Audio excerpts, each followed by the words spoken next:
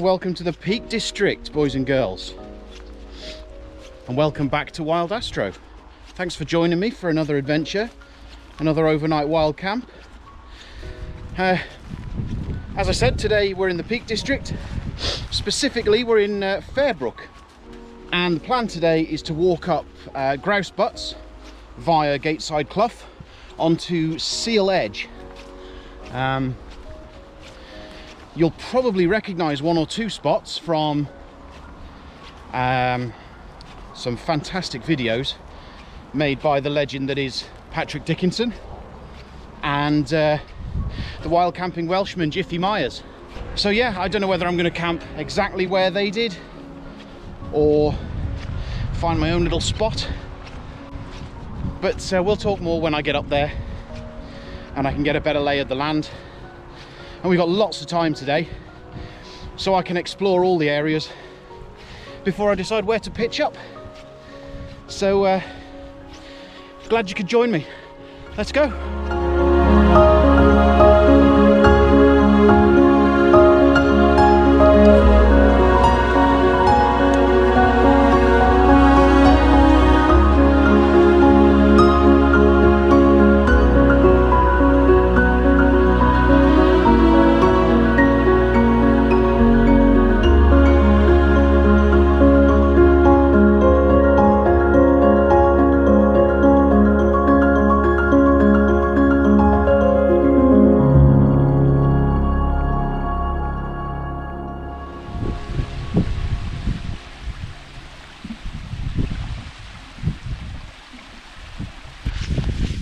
Day for walking today.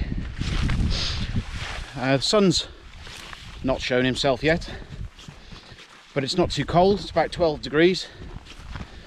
It's not too windy, although the wind is building as I reach the top of the clough here. And uh, it is forecast to it is forecast to get windy tonight. Gusts of up to 40 mile an hour forecast for this evening. Um, but I'm not worried.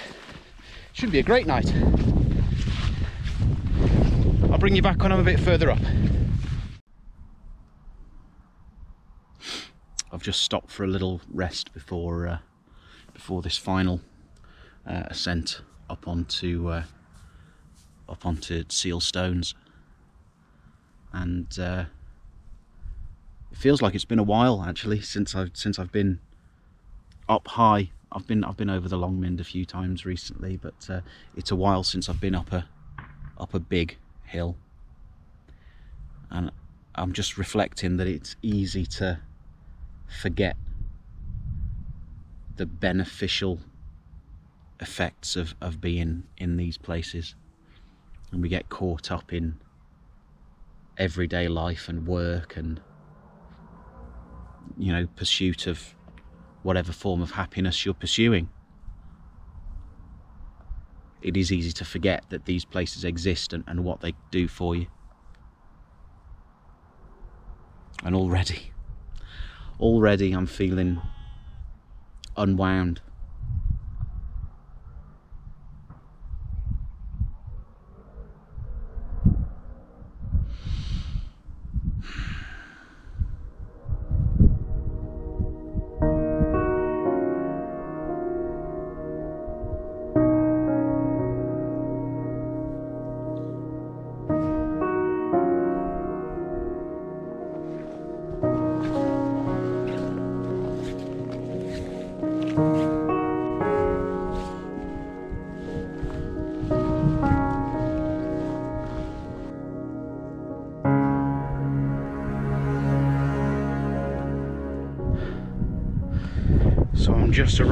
Top of uh, top of the clough to uh, seal stones these fantastic melty looking otherworldly rock formations up on on the end of seal edge here uh, I've never been to this part of the peaks before so this particular feature of the landscape is new to me. I'm to have a bit of an explore around these rocks, they're great. Okay, so Welcome to Seal Stones, ladies and gents.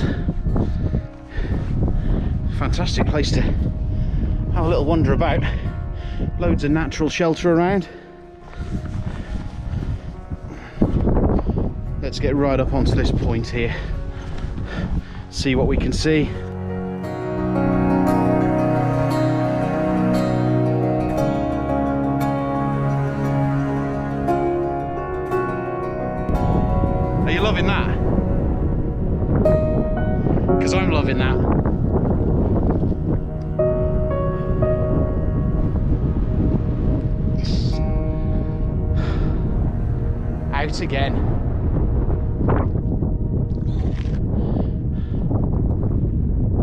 Can we see? So this, this is Seal Edge. Um, way on the far horizon over there is Derwent Edge. Right over in that direction there, that's Derwent Edge. So Ladybower Reservoir's down there somewhere. Um, forgive me, I don't know a huge amount about this particular part of the, the peaks. This is Snake Woods down here, and I've walked up from Snake Pass. I don't know if you can see, but Astro One, you can see the van down in the in the uh, in the lay-by down there, and the Snake Pass runs up over the over the uh, the moorland over there. On in this direction is, is Kinder Low, and this is Kinder Scout and, and Edale Moor over here. Um, and I'm going to head along this way. Uh, to uh, Fairbrook Naze. Fairbrook Naze is, is the, the land, the, the point of land on the end over there that you can see. So I'm going to walk all the way over to that. And between here and there, I'm going to look for somewhere to pitch up tonight.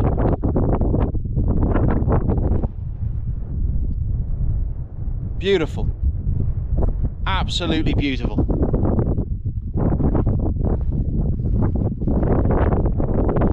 Let's go.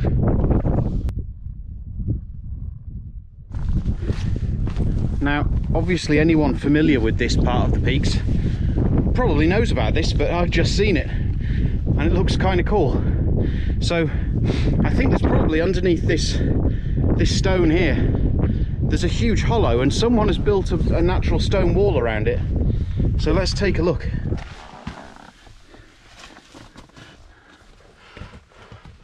Oh, there's not masses of space in there, but wow. If you were in a pinch, you could definitely make yourself a definitely make yourself comfortable in there for an evening if you were a bit caught short. And I imagine the sheep love it.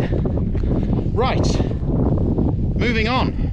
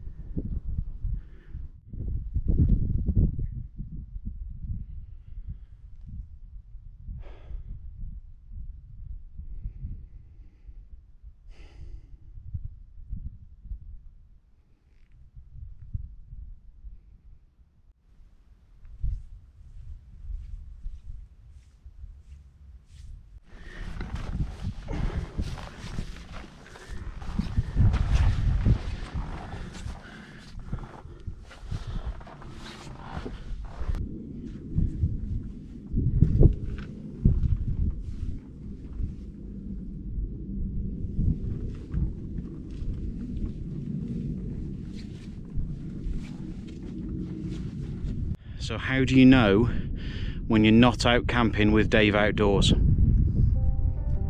The sun comes out. Wow. Can you see that? That is an actual shadow there. Wow. And we've got blue sky. Clouds are thinning beautifully. That wasn't on the forecast. What a day. And what a stunning place.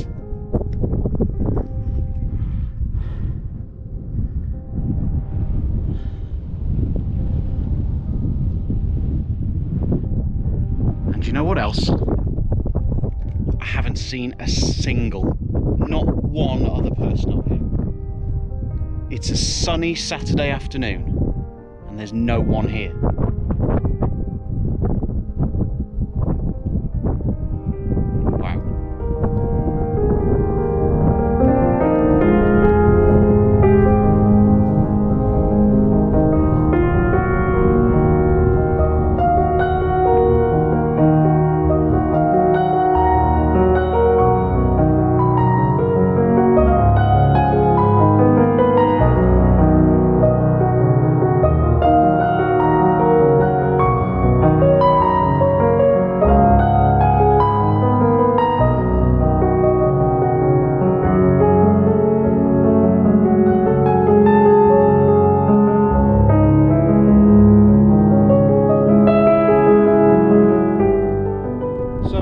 Just been wandering around here, flying the drone, having a little explore, and all of a sudden I happened upon this little spot here. And I'm pretty certain, and if I can find a screenshot from his video, I will put it on the screen now. I'm pretty certain this is the exact spot that Mr. Dickinson pitched his solo wedging his pegs between the rocks and tying them onto stones, tying the guy lines out to stones and that sort of thing. But yeah, I'm almost certain this is it. Fantastic. I'm not going to camp here.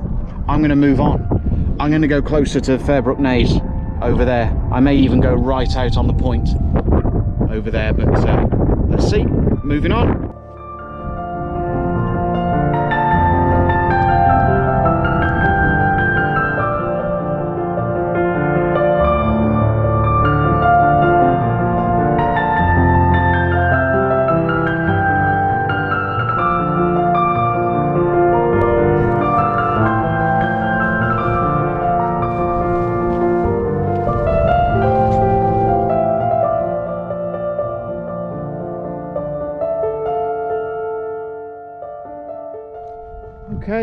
Welcome to Fairbrook Naze, ladies and gents. Uh, I can pretty much see my whole whole walk from here. So, Snake Pass is down there, and I climbed up this little hump of land here, and all the way up, all the way up, all the way up, followed that ridge up onto Seal Stones, which is there. And then I have followed Seal Edge all the way along, all the way along this way, round here, and followed the path right up here onto Fairbrook Naze. And what a beautiful place it is. Some stunning rock formations. Um, really, really beautiful views all around. Northeast, north, towards Derwent Edge over there and Bamford Edge. Sorry, that's northeast, isn't it? Northwest was where I started. Um, yeah, fantastic. And just where my bag is here is a spot big enough to pitch the Soulo. So uh, that's my next job. Let's get cracking.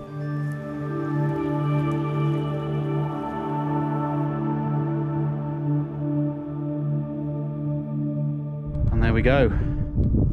Home sweet home. Right on the tip of Fairbrook Naze. Brilliant. And what a view.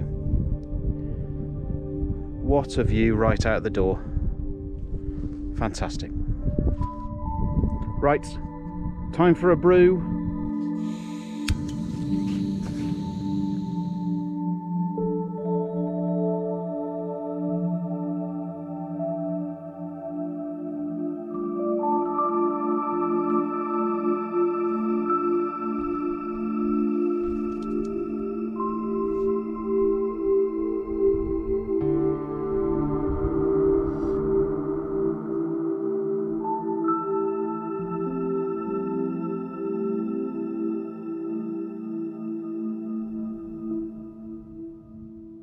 So I've got a couple of new bits of kit to show you today.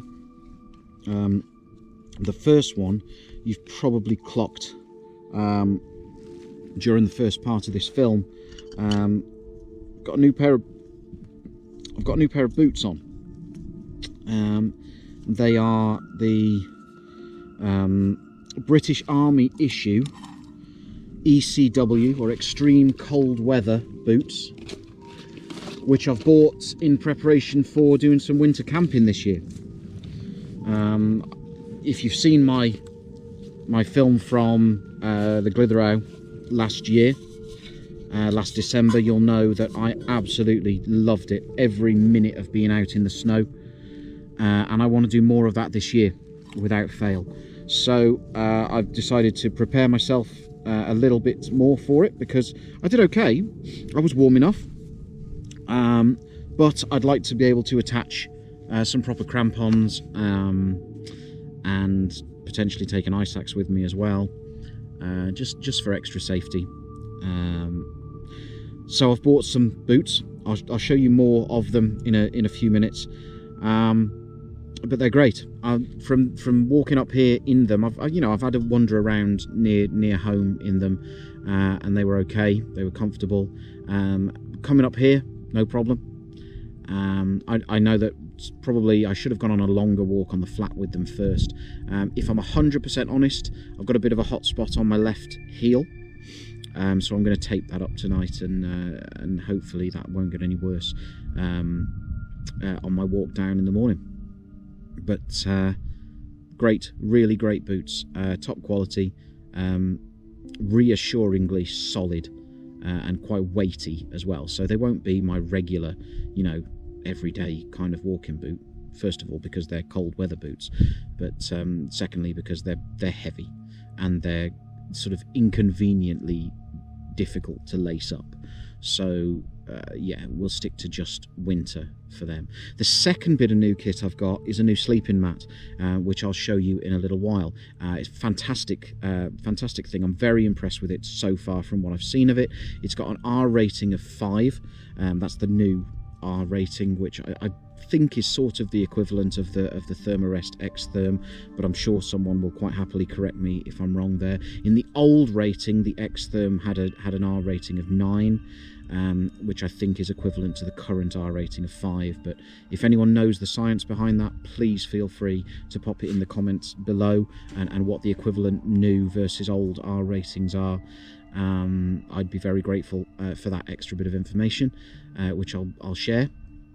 Uh, but I'll show you the new mat uh, shortly. It's the Amok um, Winterlight, uh, what they call the Fjol uh, Winterlight. it's the only um, the only sleeping mat on the market that is 2 meters and 20 centimeters long. So all you tall people out there if you've if you're struggling to find a sleeping mat that is you know long enough for you to for you to be warm top to top to bottom then the Amok Fjol Winterlight um, XL could be the way to go. I'll show you it again uh, in a little while or I'll show you it when I when I pump it up in a little while. It's a fantastic thing. Um, and I'm pretty confident it's going to be very, very warm. Okay, so let's talk boots.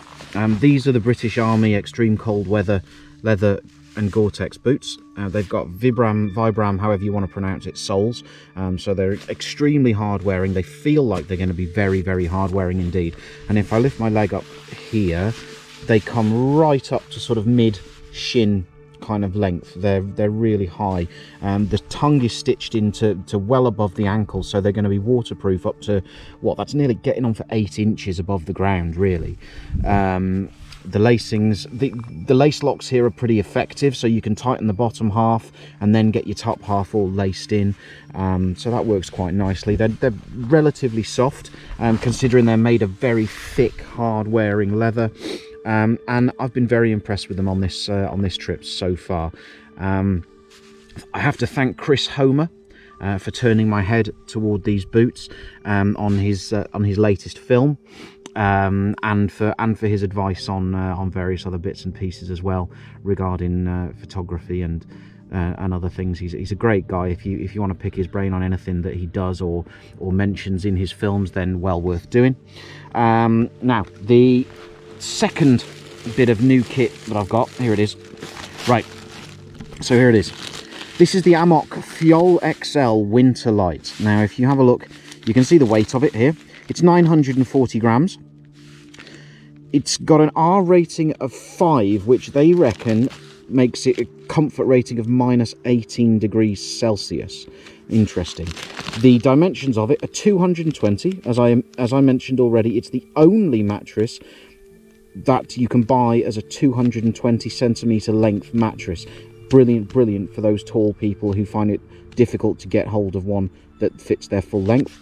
65 centimeters wide and 9 centimeters thick. So it's thicker than my Thermarest X Therm. Um, and the baffles on it are vertical rather than horizontal. So I'm hoping it's going to be more comfortable than the X-Therm as well. Uh, the reason I've bought this purely is that the X-Therm is just too thin. I'm a side sleeper and I really, really struggle. It does come with a pump bag included, and this is roughly speaking, I mean, if I lay this down here next to my sleeping bag, it's really, really heavily compressed at the moment, my sleeping bag is, but they're pretty similar in size, and that's the um, Alpkit Pipe Dream 400 in there, compressed right down in an extra small uh, Sea Summit E-Vent compression sack. Um, what I've seen of the Amok uh, mat so far when I've had it out of the bag, pumped it up, lay on it at home, um, very, very good. Very impressed with the quality of it, uh, very impressed with the, the hardware that it comes with, the, the valve and, and um, the, the bag itself is extremely lightweight and the pump sack is very high quality as well. So I'm very impressed with it. Um, I'll let you know more about it obviously in the morning in terms of the warmth of it. Um, but uh, leave that one with me until the morning and, and I'll talk to you more about it then.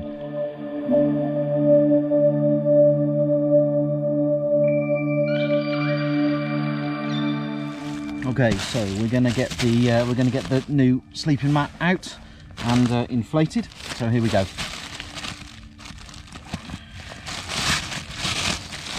So one more time, this is the Fjol XL Winter Light by Amok. That's the inflation sack, which I'm not going to be using today. There is actually a, there's a repair patch uh, and kit inside there as well uh, that hopefully I won't be using today. Um, so we'll just pop those away over the back there. Right, so here's the mat itself. Um, the underside is black um, and straight away you can feel the real high quality of the, of the materials used here. Um, you can feel, they, they describe it as a synthetic um, a synthetic uh, insulation inside that is welded, and by that they mean, I guess, plastic welded, like solvent welded, to the top and bottom faces, so that when it inflates, the insulation is spread um, so that it fills the fills the cavity inside fully. And you can feel the thickness of it, it yeah it, it's difficult to show you but you can feel the thickness. There's a there's a sort of spongy texture between the front and back uh, panels of the of the mat there which is the the insulation waiting to be uh, waiting to be um, expanded when the when the thing uh, blows up. Right um, the valve is here it is it's over here the valve you'll be quite familiar with, it's fairly standard. Um, it's a one-way uh, one-way valve, but if you want to, when you want to uh, deflate, you simply pull this and out that comes and allows the air to flow out nice and quickly. And then you just push it back in again when you're done and that will stop any air from escaping when you don't want it to. I'm going to be using the tiny pump um, with this attachment on it, which is the same attachment that I use for the, the Trekology UL80. So let's get going and see how long it takes. Okay, so here we go. Here we go. We are filled. Now, this, it's, as I say, 220 centimetres long, 65 centimetres wide, and it absolutely fills the Hilleberg Soulo perfectly, perfectly. It could not fit this floor pan any better. It really couldn't. With my extra space over there for, for all my gear. Um, brilliant. I'm really looking forward to tonight, seeing how just how warm this mat is. So uh, yeah, great stuff. Absolutely over the moon with this, the Amok Fjol XL Winterlight. Brilliant. Okay, so something a bit different for dinner tonight. Um, I know I've, I've moaned about fire pot in the past, so I'm, I'm going to... In my head, I'm taking a bit of a risk tonight, but I've gone for a fire pot meal again, and this is the porcini uh, mushroom risotto.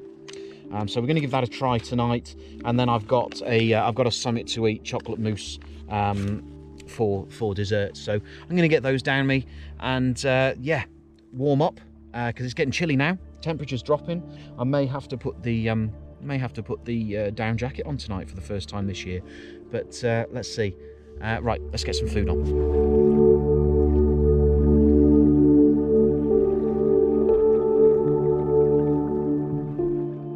And I've just realised I've made an unreal schoolboy error tonight. No beer, no hip flask. So I had to turn the camera on and uh, and let you know about this. Um, I've got the uh, the fire pot porcini mushroom risotto made up here, and here it is. Beautiful um, risotto rice in there. Um, lots of lovely big chunks of mushroom. And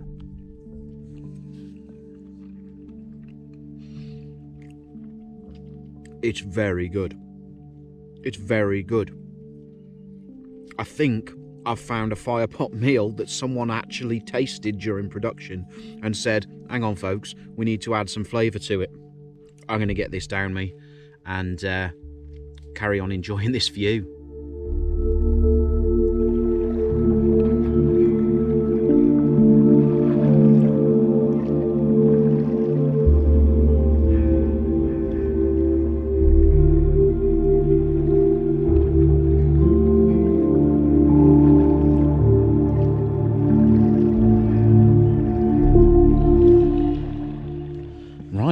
so uh, it's time to uh, time to say goodnight. Um, thank you for joining me on this trip. I'll see you in the morning. Um, there's going to be no uh, time lapse of the night sky tonight. Um, the forecast is for rain to come in uh, in the early hours of the morning and stick with me until probably the afternoon tomorrow, but I'll be long gone by then, so no problem. Um, so I'm fully expecting to be packing a wet tent away in the morning. Um, you never know though, we'll see.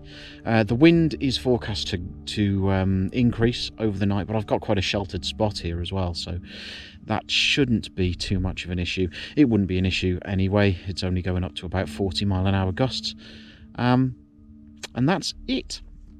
Yeah, I'm going to get some sleep, and I shall see you in the morning. Night night.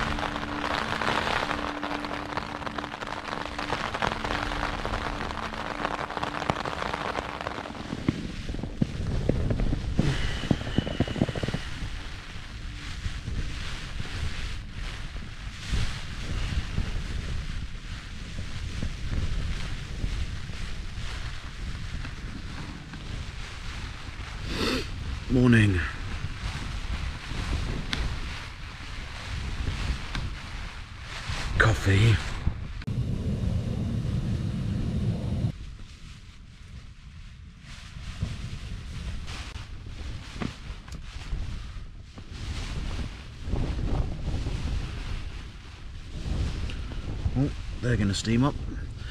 Okay, uh, it's just gone 7.30. and uh, this is going to be pretty savage I think let's have a bit of a look at the view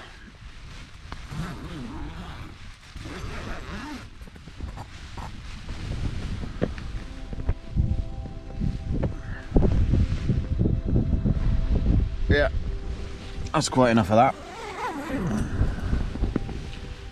Ugh. okay I'm gonna have my coffee. I'm gonna get packed up. Hopefully I'll film some of it.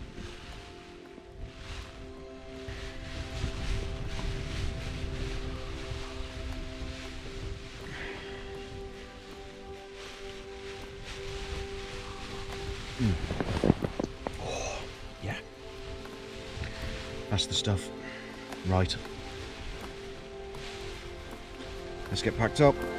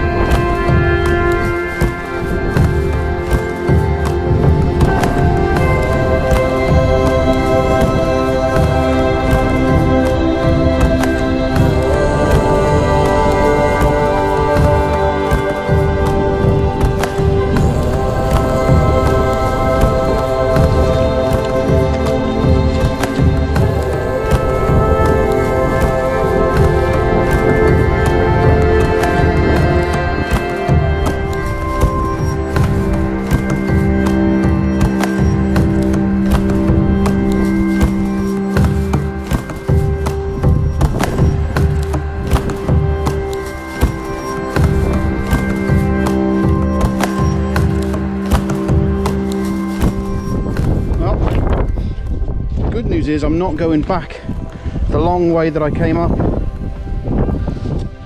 And if I come to this edge down here, through the mist, I can just about make out down there the path back down to the Snake Pass. So, this is it. This is where I'm going. I'll speak to you when I get back down on the flat.